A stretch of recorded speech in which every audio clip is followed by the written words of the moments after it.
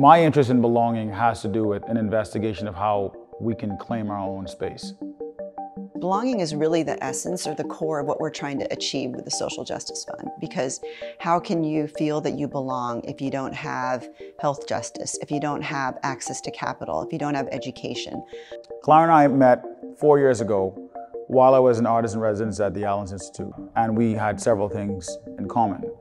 Um, she was interested in art, science, and community, and those were three things that were central to my, my own practice.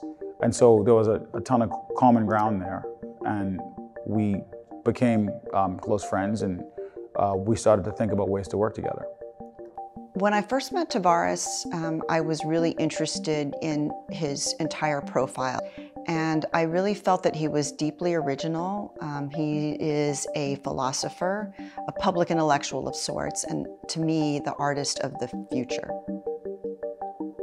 After the uh, protests that organically came to Brooklyn and the Barclays Plaza uh, in the wake of George Floyd's murder, that's when we seized upon that moment. And I felt like it was the right place and the right time and the right moment and, and the right two people to make this happen.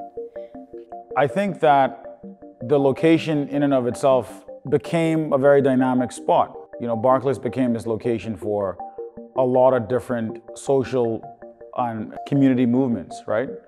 And for me, I felt like this work was going to become a part of that fabric.